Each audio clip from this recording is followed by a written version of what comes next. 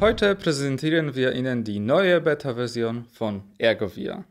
Der neue Release bringt neben einer verbesserten Avatar-Kalibrierung und einem genaueren Arbeiten mit Avataren vor allem auch mehr Möglichkeiten, mit den Daten weiterzuarbeiten, die Sie in Ergovia erzeugen.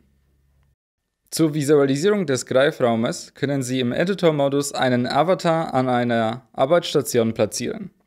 Der Raum um den Avatar wird mit grünen, gelben und roten Wolken markiert, um zu zeigen, welche Objekte gut erreichbar sind und welche näher platziert werden sollten. Bitte beachten Sie, dass diese Avatare nicht gespeichert werden.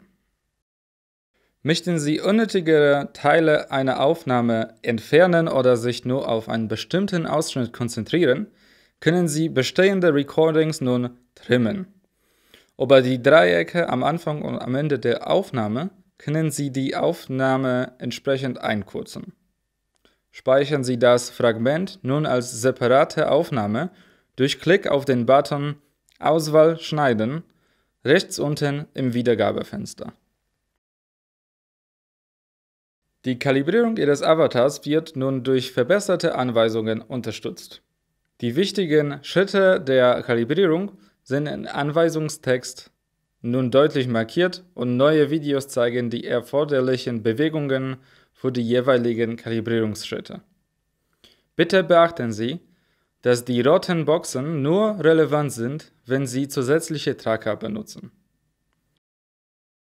Der Interaktionspunkt zum Greifen von Objekten befindet sich ab sofort nicht mehr auf der Controllerspitze, sondern auf der Hand des kalibrierten Avatars. Auf diese Weise können nur die Objekte gegriffen werden, die der Avatar auch erreichen kann, was zu einer realistischeren Bewegung während der Aufnahme führt.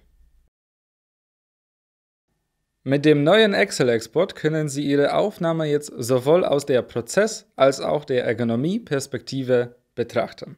Auf diese Weise wird deutlicher, welcher Teil des Prozesses in unergonomischer Körperhaltung und über welchen Zeitraum durchgeführt wurde. Außerdem werden jetzt die Aktionen in einer Reihenfolge aufgelistet, was es deutlicher macht, wenn Prozessschritte parallel ablaufen.